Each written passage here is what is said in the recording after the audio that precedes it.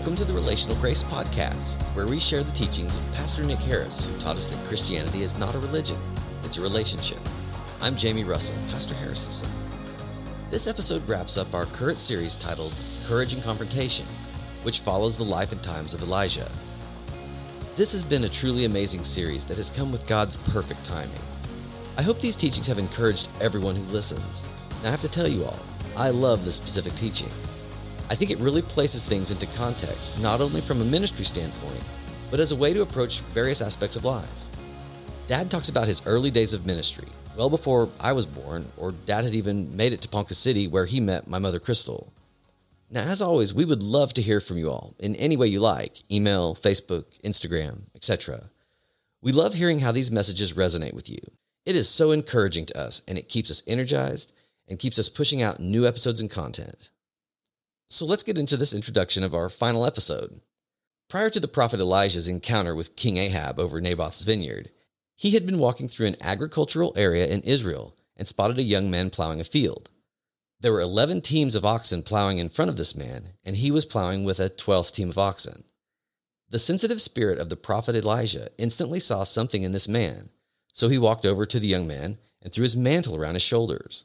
Elijah would later discover that the name of this man was Elisha, the son of Shaphat. The farmer turned from his team of oxen and said to Elijah, Please let me kiss my father and mother, and then I will follow you. Elijah agreed. What Elisha did at this point was fascinating. He kissed his father and mother, then demonstrated his commitment to following Elijah, in that he slaughtered his team of oxen, his sole means of support. Then he set fire to his plow and yoke, his secondary means of support.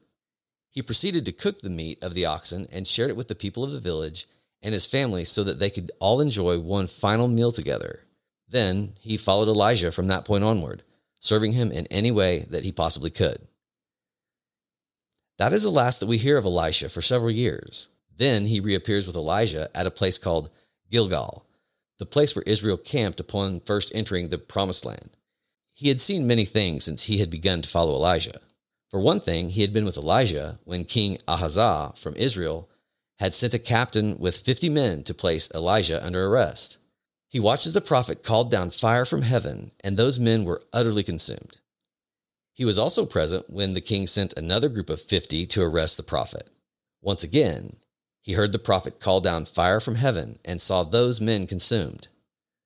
Then, when another group of 50 came, Elisha heard the captain from the group appealed to the prophet to save his life. No doubt the young prophet heard the voice of the angel of Yahweh, the pre existent Christ, to tell Elijah to save this captain and his men and go back to Samaria with this captain to confront the king. This was a dangerous proposition, but Elijah did as he was told. At this point, Elijah was aged. It is time for him to leave this earth, but he has a few things to do before that could occur. For one thing, he would take a quick ministry tour of the area. Then God would take him. This is the background for Pastor Harris's teaching in this episode. So, with that introduction, let's wrap up the Courage and Confrontation series with the 11th and final teaching titled The Double Portion. Let me let you in on a principle that God has ordained, and it's been in effect from the beginning of time. Now, that principle is this God is doing a progressive thing with His people.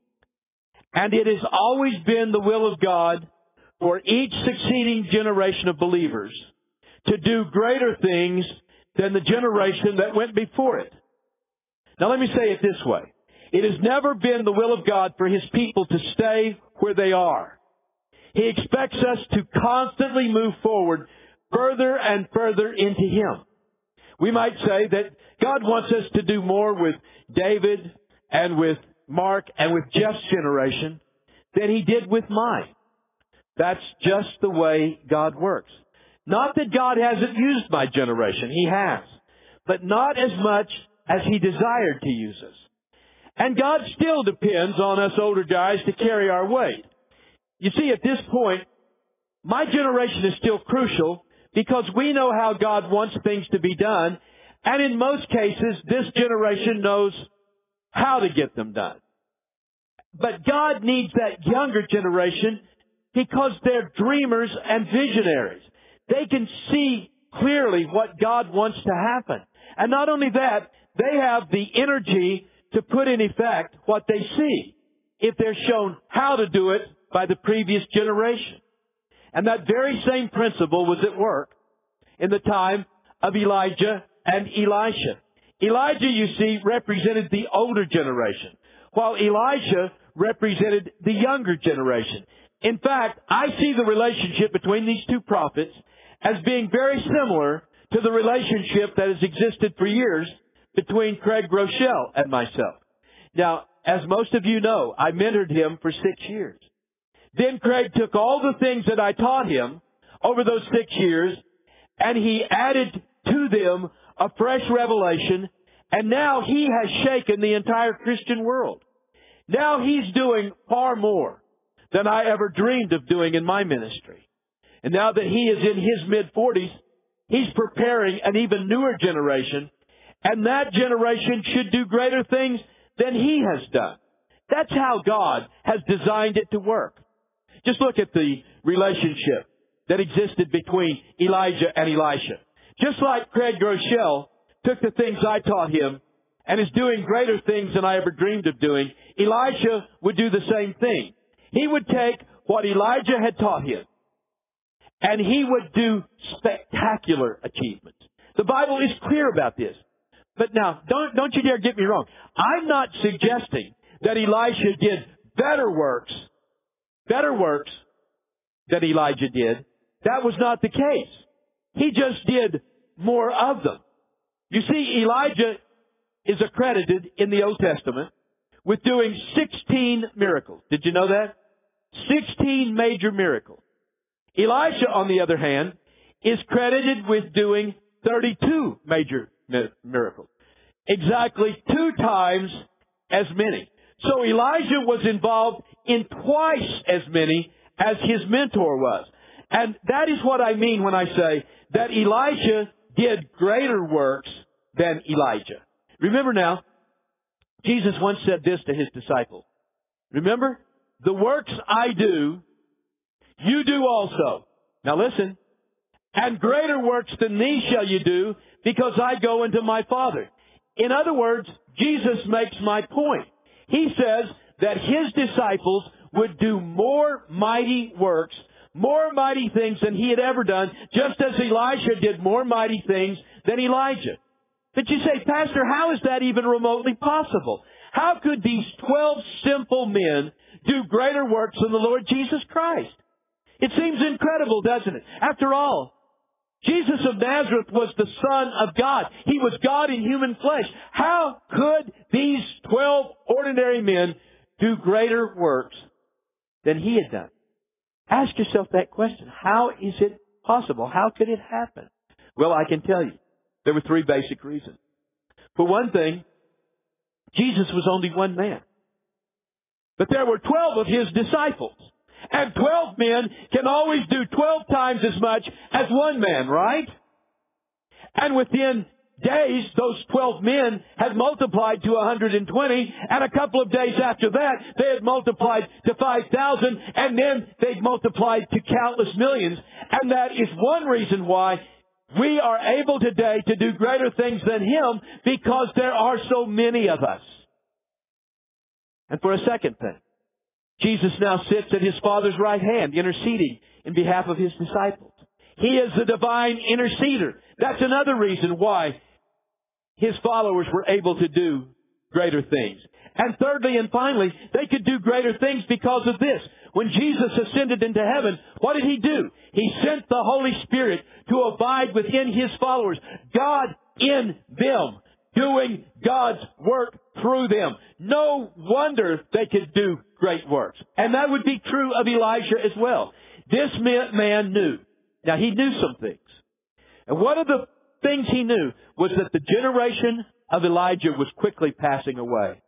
And it appears to me that God had shown the ancient prophet that when his generation was gone, there was going to be a radical shift in the way God would deal with the world.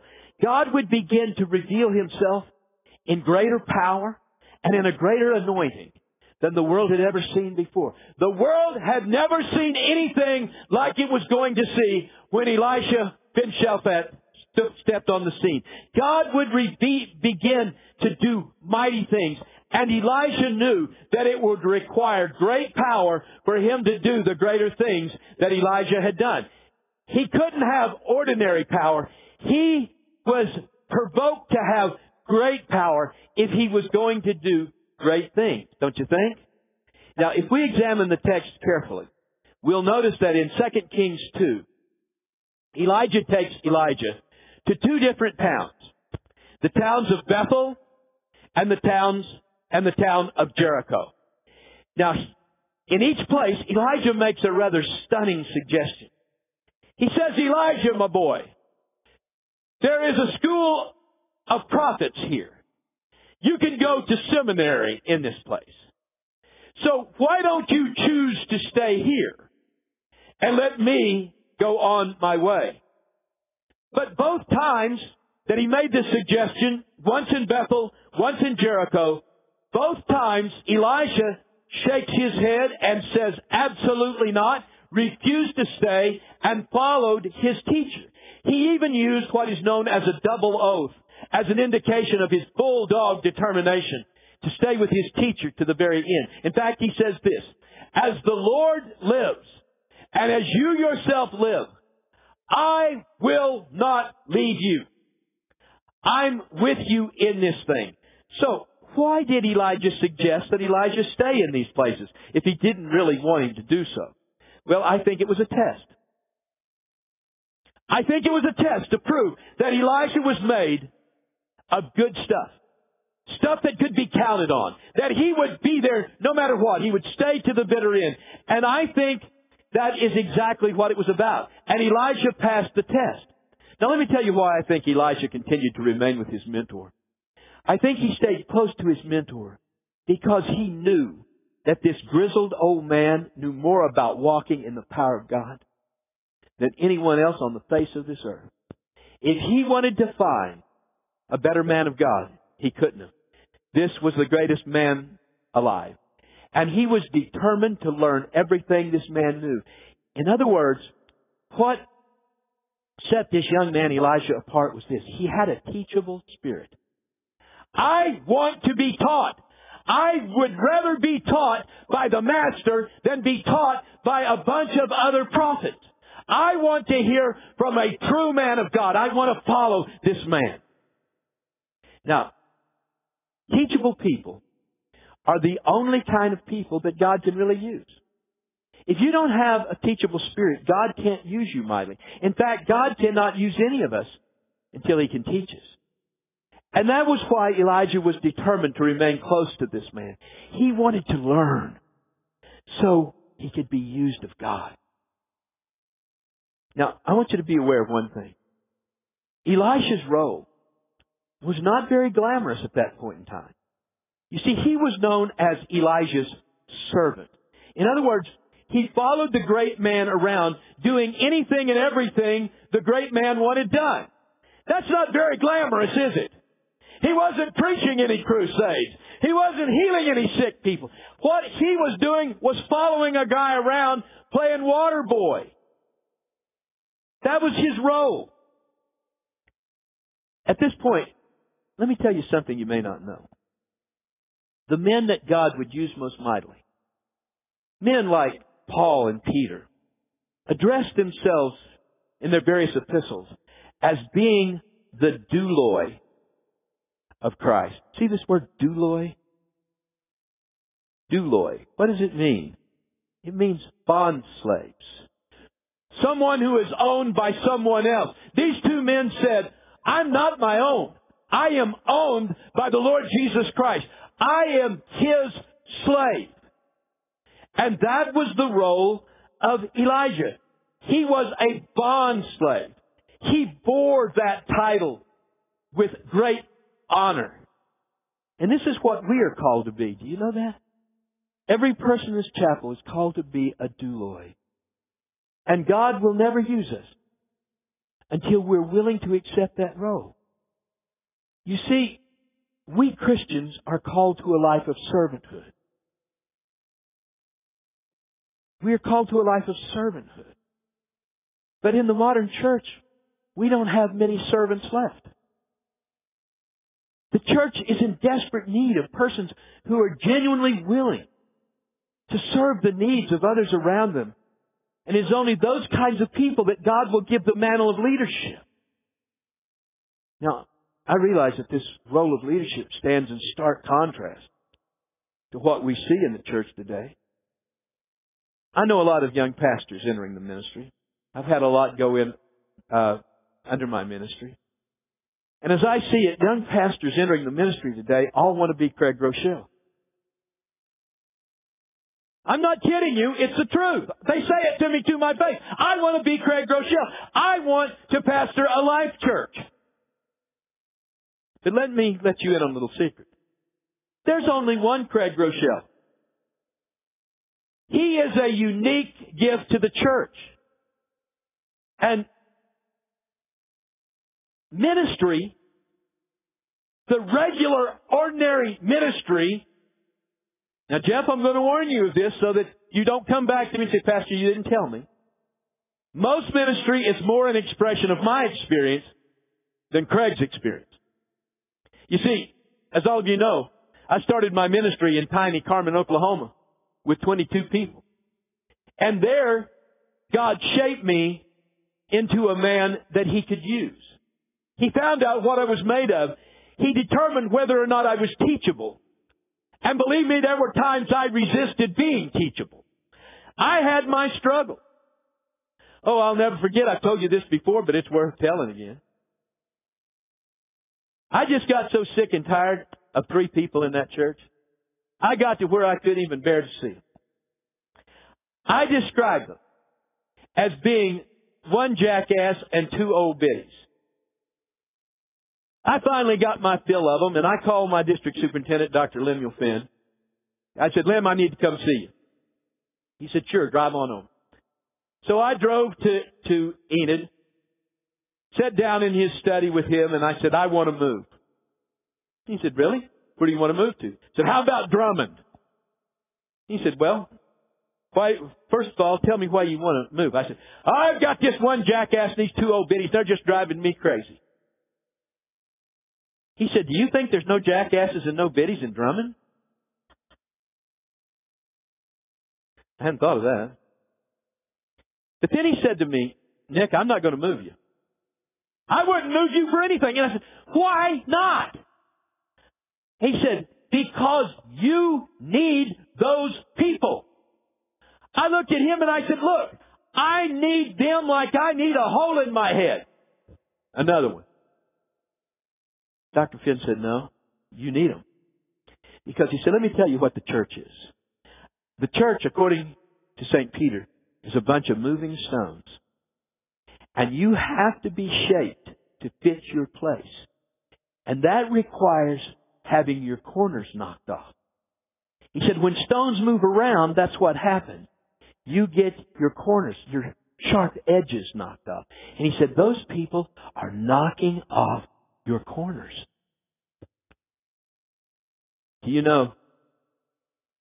I sat there and I looked at this man, and because I admired him so much and because I thought he was such a great man of God, I received his words. And I went home and I said, God, I'm going to be content in whatsoever state I'm in. You've placed me in Carmen, Oklahoma, and I'm staying here, and I'm going to minister to those people, and I'm going to love that jackass and those two old biddies. Turned out to be three of the best friends I ever had. They helped to shape me into the man I became. You've got to have a teachable spirit. You've got to listen to the wisdom of that other generation. I was teachable, and because of that, God shaped me. And that was true of Elijah as well. God's priorities, not his own, came to control his life. And throughout his lifetime, he would not allow himself to be ruled by the desires of his physical body.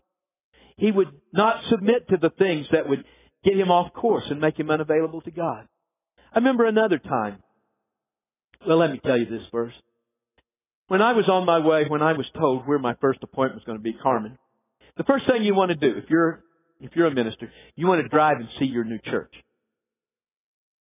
Now, I take off, drive through Ponca City, never knowing I would pastor there, through Tonkawa, and through Lamont.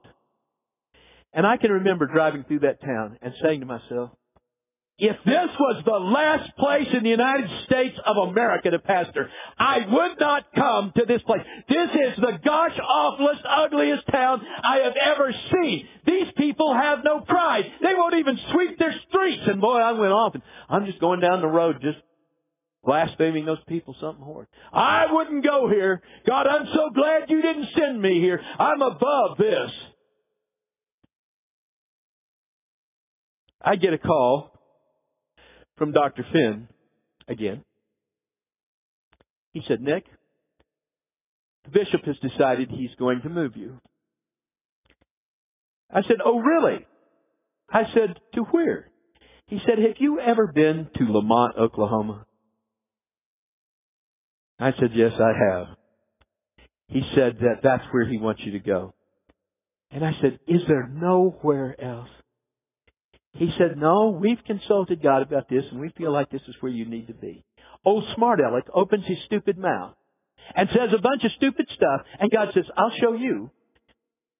Had one of the best pastors I've ever had in that little old one horse dirty town. Learned to love that place. Realized the wisdom of my mentor. Well, one day I get a telephone call from OCU. They had a job for me. They wanted to offer me the position of chancellor of the chapel. And it paid twice as much as I was making, and it's when you're starving to death, that sounds like a pretty good deal. and so I thought, I said, well, I, I will think about it. And so just as soon as I hung up with the, with the president of the college, I called Dr. Finn. And I said to him, Lem, I've been offered this position. What do you think? Don't you dare take that position. I'm going to tell you something. God has gifted you spectacularly and you'll waste yourself if you ever go into some institutional job. You get as far away from that as you can. Well, listen, when you're hungry, that looked pretty good. But I'm going to tell you something. I had learned my lesson. That I had the voice of wisdom to listen to. And if I was smart, I would listen to that man from that other generation who knew far more than I knew. Elijah was that way too. In New Testament parlance, Elijah was a spirit controlled man. His attitude was like that of the apostle Paul. Now listen to the words of Paul in the book of Philippians, the epistle to the Philippians, chapter 3, verse 12. It says, Not that I have already attained. He said, Look, I haven't even begun to get where I plan to go. I'm not attained or am already perfected. He said, there is nothing perfect about me. Now this is the apostle Paul. Then he says, but I press on. I keep going that I may lay hold of that for which Christ Jesus has also laid hold of me. See, that is an Elisha attitude. Let's be clear about this. Elisha, like Paul, knew that he wasn't perfect. He had a lot to learn, and he had to learn it quickly. Why? Because he knew that Elijah was going away soon. He didn't know how Elijah would go away. He probably thought Elijah would die. Right? But whatever it was, he was determined to be there when it occurred. Now let me digress for a moment. In the city of Jericho, as I said a moment ago, there was a place, a seminary, that was called the School of the Prophets. And because these men were, were prophets, now they had some, obviously had some gifts. And it had been revealed to them that Elijah was not going to be here very much longer. They also knew this. God had shown it to them. So when Elijah and Elisha left the town of Jericho, these students followed from a distance. They wanted to see the great man when he passed away so they can say, man, I was there when it happened. Yeah. And you know, I'd have been right in the middle of them. I'd have been one of those. I wouldn't have got too close because if it was going to be lightning from heaven, I wouldn't want to be one of those devout. Right? They followed Elijah and Elisha at a distance as they approached the flood swollen Jordan River. And now Elisha would learn what a man of God does when he comes to a flooded river. You know what he did?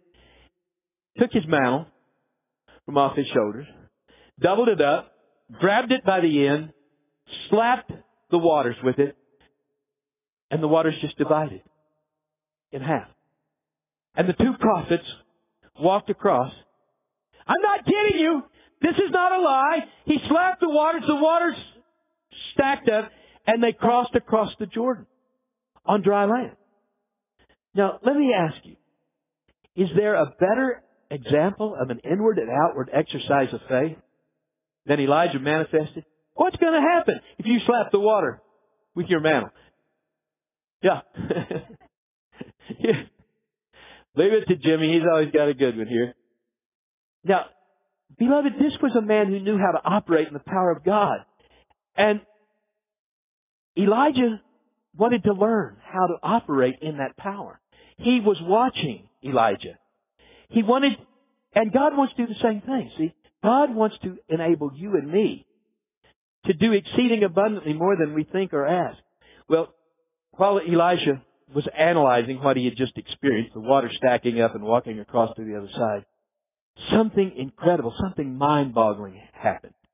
Now, if you think this has been absolutely unbelievable up to now, forget everything you've ever seen or heard. Elijah suddenly turned to Elisha and said this to him. What may I do for you before I am taken away from you? Now here's the amazing thing about Elisha. He was prepared with an answer. I just said, well, let me think about a day or two. Not him. He said, please, let a double portion of your spirit be upon me. Elisha responded by saying something very odd. He said, you have asked for a hard thing.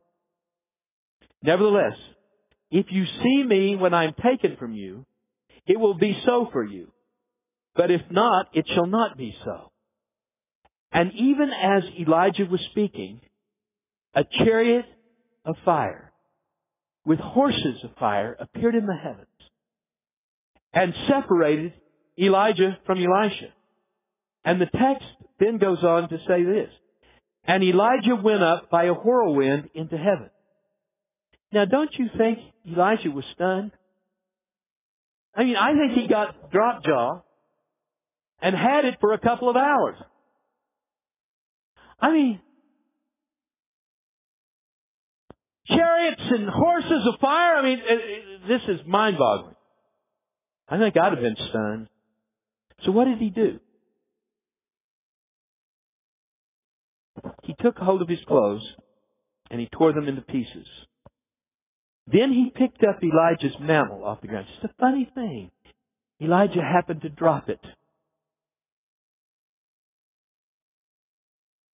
He put it on his own shoulders and he walked back to the Jordan. Now the issue became this. What did he ask for? He had asked for a double portion of Elijah's power and anointing. Now the question had to be, don't you think? He picks it up, he puts it on his shoulders. Now it's easy to put on a mantle that belongs to somebody else. The question is, do you have the double portion of the power? So what does he do?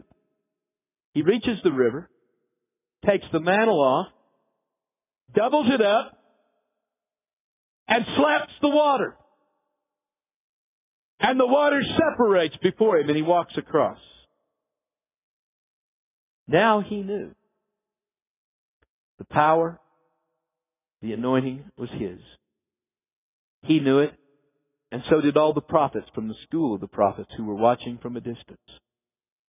How quickly do you think the word spread through the nation? There is a new man on the scene. God has picked a man and given to him an outpouring of his spirit. Now listen. God is no respecter of person. He wants us all to have a fresh anointing of power. He wants us to do greater things than we've seen done before. Jeff, for you of this new generation of ministers, God expects twice as much from you as He did for me because in reality we're two generations removed. But God is calling. And you know what I've seen in Jeff's generation? These young men who are entering the ministry